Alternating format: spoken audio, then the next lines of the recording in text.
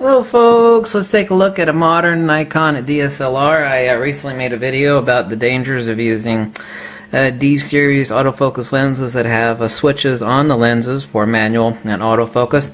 Let's uh, take a look at what we're talking about. Here is also what does not exist on D3000 and D5000 series. Over here we have our switch for switching between um, manual focus and autofocus. Here we go. And I don't know if you can see it right there, but we have our engagement motor, which is spring loaded right there. Uh, this is also adjustable. If the screw actually ever comes loose, this has been the cause of uh, some people thinking that their camera was broken when actually it was only this one tiny set screw, which uh, sets uh, the strike depth on uh, the back of the uh, autofocus uh, lens, like the screw drive D series, the pre AFS lenses, the ones that do not have uh, internal autofocus drive motors. This is a modern Nikon DSLR. Up here you can see we have our circuit board, actually one of several, and underneath these flexible feed cables. for feeding TTL information and other data from the flash is uh, the pentaprism. You can see the black pentaprism buried underneath right there. And uh, also, by the way, it doesn't matter if it's a cheap Nikon uh, camera or it's an expensive Nikon camera. If you ever wondered, uh, I mean, really, you think you can get a really cheap Nikon, you know, like a D7000 for like $350. If you actually knew how many parts are even inside a cheap and this isn't a cheap one. This is actually a D90. Um, I mean, it's cheap now, but I mean, it used to be a pretty damn expensive camera. Uh, how many parts are inside a modern DSLR? There's an old southern saying, and it goes, uh, 10 pounds of shit in a 5 pound bag. And, uh, I mean, every Nikon is exactly like that. These are the feed cables for the LCD and the buttons for the rear display. Also, by the way, if you ever get a broken camera, these are valuable. These are universal. Doesn't matter uh, which uh, which uh, Nikon camera it is. You should always remove these and sell these. You want to talk about scrapping the good stuff out of a broken camera.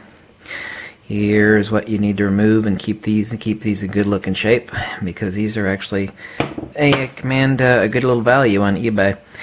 Um, this is uh, actually the buffer and uh, the uh, substrate uh, motherboard, if you will. It's not technically a motherboard. Um, here's the uh, SD card slot on the uh, D90.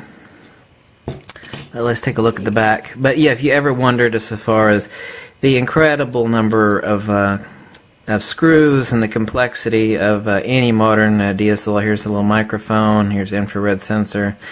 There's actually a person that's actually taken a bunch of these out and got them to work and made a neat little device. People that do a lot of microphone hacks. But uh, these are your uh, command dials right here. Let's uh, take a look. I've uh, got to the point where I could remove uh, the digital sensor off this camera. And actually, even on a modern D800 or D700 or D7100, you still have this really rigid chassis that the back of the sensor sits on. Obviously so, because you want the focal plane perfectly flat and you want the, the sensor to rest on there nicely. So let's remove that. I removed the three screws that actually hold it in. And uh, I'm actually going to remove the cables off of there that feed that because here we go and there is a little ultrasonic vibrator that will actually remove the dust from the sensor. But like I've told you before in a prior video, the actual uh, digital sensor is underneath uh, these uh, infrared and uh, there's a three layer filter underneath here and I have to remove that with a bracket. These are uh, electrostatic discharge copper plates to remove uh, dielectric charge from actually causing overload of the sensor is also a reason why because you got it sitting on a tripod. A lot of tripods or monopods are metal. This is your tripod socket on the bottom inside the camera, and that's hooked to an ESD electrostatic discharge plate, a copper plate here. They're not using copper for no reason.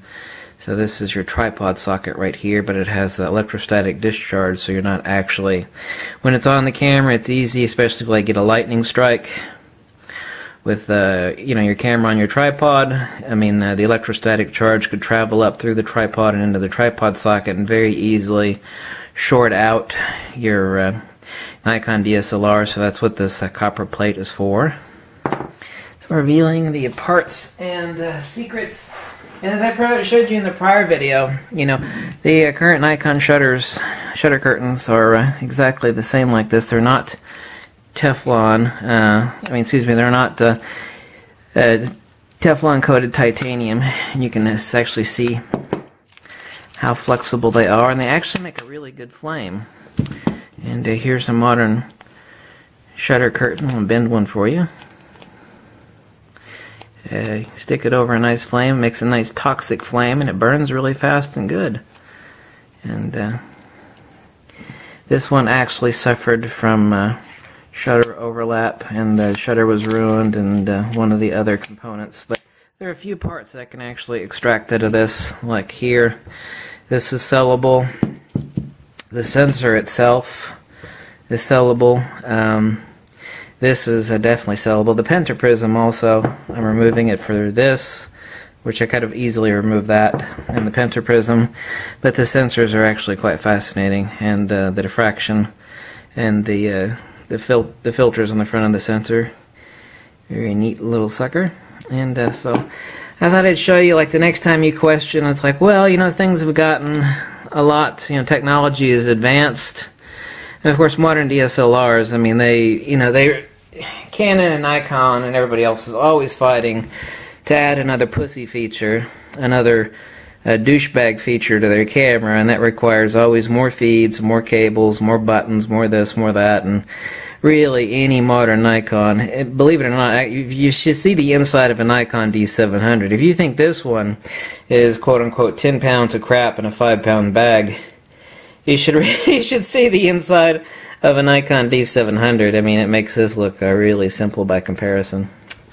Um, but anyway, those are the shutters. And, uh, um, I'd actually heard a report about a Canon that uh, was rated for 200,000 shutter clicks, and uh, it, the shutter failed on it at just a hair over 600,000. There are also more than a few uh, Nikon D700s that I've heard of that have well over 300,000 shutter clicks. Obviously, you do not want to buy a D700. Generally speaking, with more than 60, 70,000 shutter clicks, but I mean, mine had 105,000 on it, and I'm not worried about it. It's uh, 300 some dollars to replace it from KEH. But you, you never should question the cost of replacing the shutter mechanism.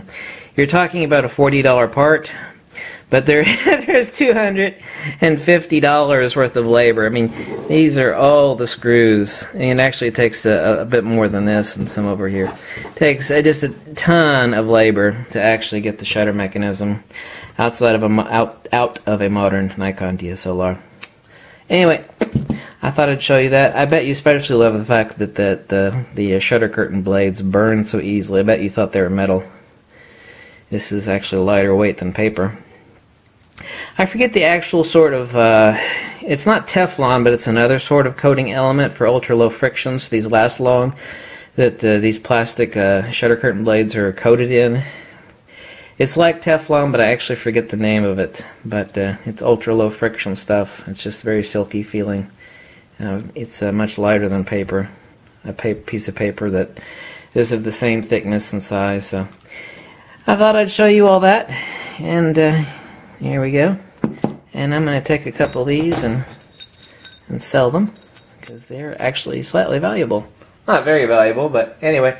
Thanks for watching. I thought I'd show you the secrets inside of a modern Nikon DSLR and uh, you should never again question you know the cost of them because the actual manual labor involved in putting these together yeah there's a lot of automation in the individual parts but the actual assembly itself there is actually a titanic amount of uh, manual labor involved in assembling one of these. I mean, it makes, uh, and I used to repair notebooks, it makes repairing a modern uh, MacBook or MacBook Air just look, you know, just super, super simple. Look like Legos by comparison. So, anyway, thanks for watching, and I'm going to mine for gold here in a minute and remove the magical pentaprism out of this uh, Nikon because I love them. Catch you later, okay? Bye.